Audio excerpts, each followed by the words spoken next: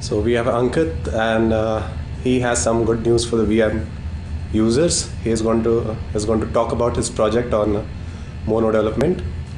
Let's over to the Ankit.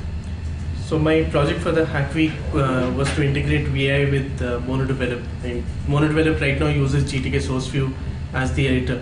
So the idea was use VI embedded into MonoDevelop's environment to be it as the editor. So it shouldn't be just uh, there as a file editing thing, but MonoDevelop should integrate with that. So I'll show uh, what is there right now. It's not complete yet.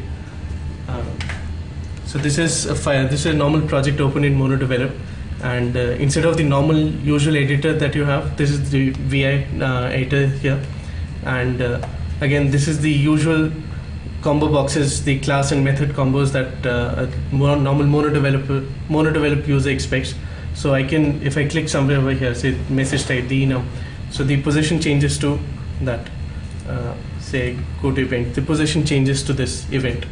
So, uh, so basically the, the two are integrated. I can uh, MonoDevelop can send commands to Vim to uh, do something, and uh,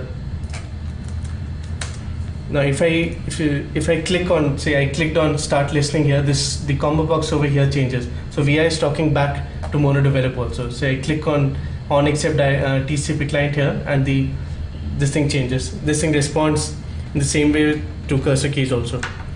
Uh, the other thing that we have uh, code completion here, so I can say listener dot listener is an object of TCP listener type. Uh, so I say listener dot, and I try to complete it.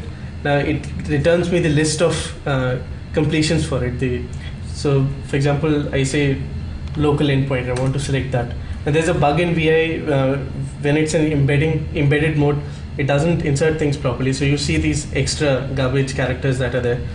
Uh, so for now, I'll try to remove them and show you. Now I say local endpoint dot, so it will give me the further completions for this. Uh, this is uh, VI and MD are talking uh, with a protocol known as the NetBeans protocol, which is used by NetBeans for embedding external editors, and that is what we're using here. But it doesn't uh, provide all the facilities or all the stuff required for the kind of integration that we have here. So we're using uh, the remote feature of VI also, which lets me set uh, X11 properties to send expressions to uh, VI to be to be parsed, uh, to be evaluated.